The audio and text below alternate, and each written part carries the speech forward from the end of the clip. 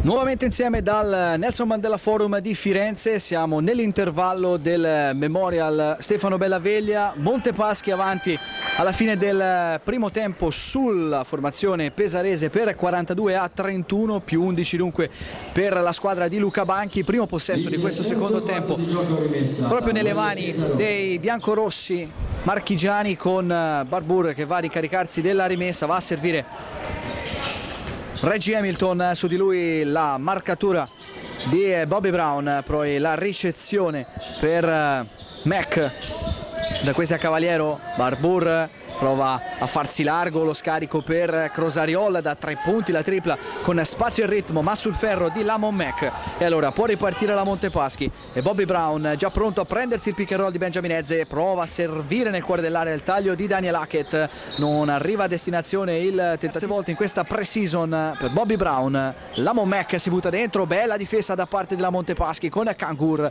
che va a servire ancora Brown da tre punti con spazio e ritmo. Due triple per Mr. Bobby Brown.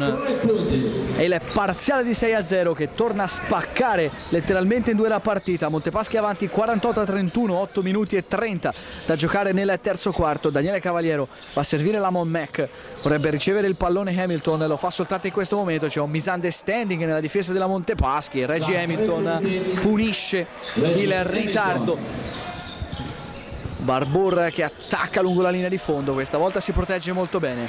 36esimo punto per eh, Pesaro, 48 sono quelli messi a segno dalla Montepaschi, 7 minuti e 35 da giocare nel terzo periodo di gioco con Christian Kangur. Va a servire David Moss nuovamente per Kangur con spazio da tre punti. Christian Kangur.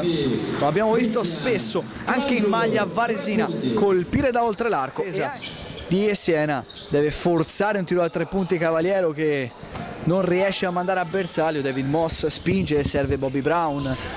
Kangur ribaltamento per Moss. Moss centro dell'area sbaglia. Il balzo lungo catturato da Cavaliero. Poi Bobby Brown un furto che non trova lo scarico l'extra pass per il tiro a tre punti di Reggie. Hamilton. 51 a 39 6 minuti e 20 Brown va a servire Kangur che gli restituisce il pallone, arriva la stoppata di Crosariol, Reggie Hamilton lo scarico per il tiro da tre punti, ancora bersaglio per la VL Antoine Barbour l'autore della tripla 51 a 42 6 minuti 10 secondi alla terza sirena di questo rimessa per Siena con David Moss che va a consegnare il pallone nelle sapienti mani di Bobby Brown. Serie di blocchi a liberare Daniel Hackett che si sposta da destra a sinistra nell'attacco di Siena va a servire con una bellissima palla in angolo David Moss. Bella esecuzione questa. E di Daniel Hackett e di David Moss. Da giocare nel terzo quarto Daniele Cavaliero si arresta da tre punti. Questi sono i suoi tiri e infatti non sbaglia Daniele Cavaliero che in queste situazioni è davvero molto bravo a raccogliere e tirare dal palleggio restituisce immediatamente alla mittente la tripla di Moss. Kangur vorrebbe Ezze vicino a canestro gli viene sporcato il possesso. E ancora però Big Ben a mettere le due mani sulla sfera. Bobby Brown deve inventare qualcosa 7 secondi lo scarico incredibile per Ezze che purtroppo non riesce a concretizzare la bellissima giocata del compagno.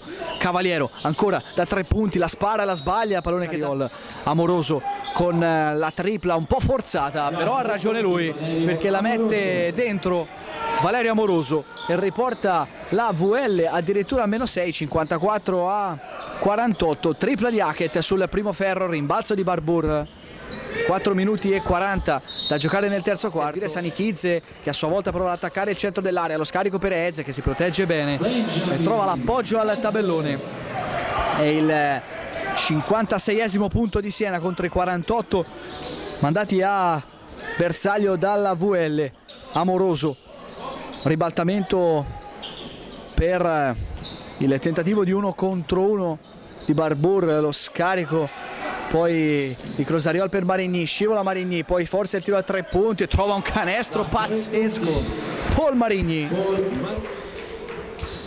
50, 58 a 51, dentro anche il secondo libero per Bobby Brown, 3 minuti e 13 secondi da giocare nel terzo quarto. Simone Flamini va a servire Cavaliero, ribaltamento per eh, il palleggio vivo di Barbour, si butta dentro Barbour, deraglia un po' in questo caso, poi in qualche modo il ferro accoglie la sua conclusione in maniera davvero fortunosa.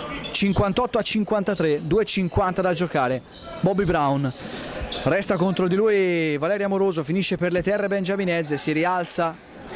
Ah, Bobby Brown penetra, scarica per Moss da tre punti, il tiro viene sputato dal ferro, è presente al rimbalzo Benjaminezze, poi in qualche modo riesce a recuperare il pallone la VL Marigny che scarica per Barbo. Udite, udite, la VL a meno 3, 59 a 56. 40 secondi al termine dell'incontro. Jennings